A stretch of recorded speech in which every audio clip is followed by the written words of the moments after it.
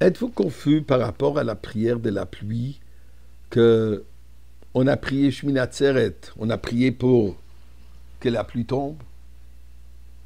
Depuis, dans la deuxième bénédiction de l'Amida, on a commencé à dire Mashivaruach Geshem.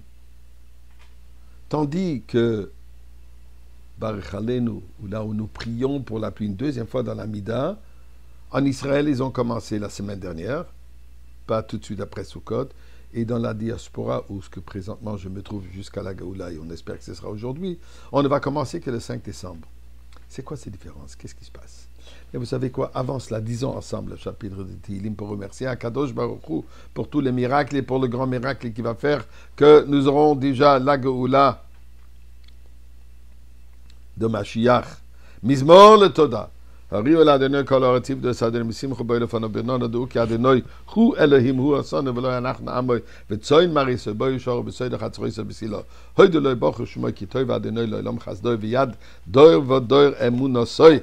donnons de la tous ensemble pour la sécurité de nos chers frères en Eretz Israël et dans le monde entier.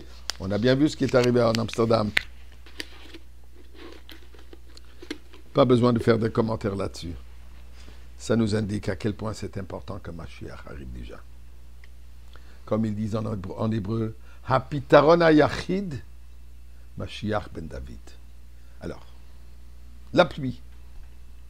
Shmini Atzeret, ou en Eretz Israël, Simchat Torah, le premier jour de Simchat Torah, on prie pour la pluie. La pluie qui, représente le bien-être de chaque société toute l'agriculture dépend de la pluie. Donc, je suis la la prière pour la pluie. On a commencé à dire dans la deuxième bénédiction de l'Amida, Mashiva Ruach ou Morid Hageshem. Celui qui amène la pluie, euh, je m'excuse, celui qui amène le vent, qui fait souffler le vent et qui amène la pluie. On reconnaît donc que Dieu, c'est lui qui fait le temps.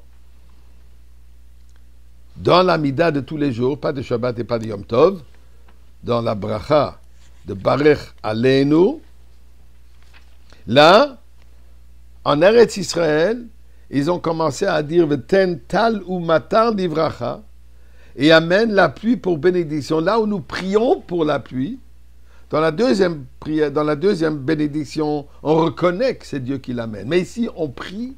Alors en Eretz Israël, on n'a pas commencé tout de suite après Sukkot. On a commencé la semaine, ils ont commencé, je devrais dire, la semaine dernière, oui, je dis on, puisqu'on veut déjà tous être là-bas. On a commencé la semaine dernière, le septième jour du mois de Cheshvan. Tandis que dans la diaspora, on va commencer que le 4 ou le 5 décembre. Eh bien, Sukkot, chaque juif est censé de monter les règles à Yerushalayim, de fêter la fête de Sukkot ainsi que Pesach et Shavuot. Mais maintenant on parle de Sukkot. Ils ont besoin du temps pour retourner chez soi.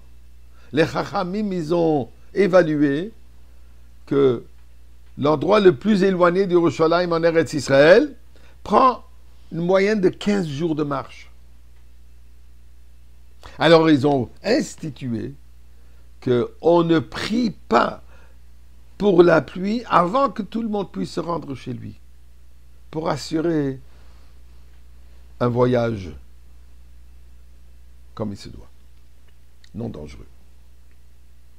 Donc ça, c'est pour Eretz Israël. Pourquoi on commence le septième jour du mois de Rejvan, qui est 15 jours après Shmini Atzeret? Dans la diaspora, le temps de la pluie n'est pas le même qu'en Eretz Israël. Le temps de la pluie est plus tard.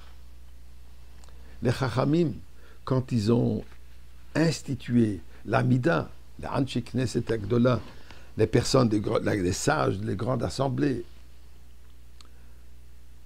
qui se trouvaient, la communauté juive qui se trouvait majoritairement en Babylonie, hors d'Eretz Israël, là, la saison de la pluie est en décembre. Pour ça, les Chachamim, ils ont institué de commencer dire commencer à prier pour la pluie tous les jours au 5 décembre. Question qui se pose, on n'est plus en Babylonie. Alors est-ce qu'on ne devrait pas, chaque endroit devrait faire la prière par rapport à la saison de la pluie. Mais étant donné que la prière n'est pas faite pour nous-mêmes, la prière, elle est faite pour l'ensemble de la communauté juive, pour l'ensemble de l'humanité entière, pour le monde entier. Alors on garde ce que les Chachamim ils ont institué en Bavel, c'est que les Chachamim ont institué, les sages ils ont institué alors, et on continue le même système. Ceci nous explique brièvement cette confusion. Et nous espérons qu'on a plein la pluie, qu'on a déjà le soleil qui va briller au Beth Amikdash avec Mashiach. Now.